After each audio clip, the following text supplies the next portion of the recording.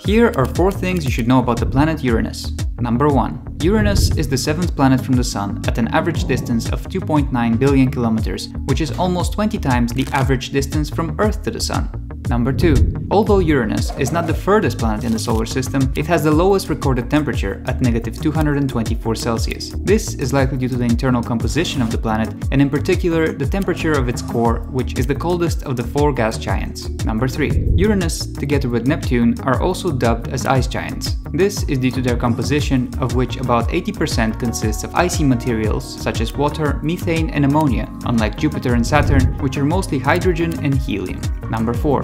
Compared to the rest of the planets in the solar system, Uranus has a unique orientation to the Sun. Its axial tilt of 98% causes extreme seasons of 21-year nighttime winters and 21-year daytime summers. The planet's orientation has also affected the location of its rings and the orbits of its moons.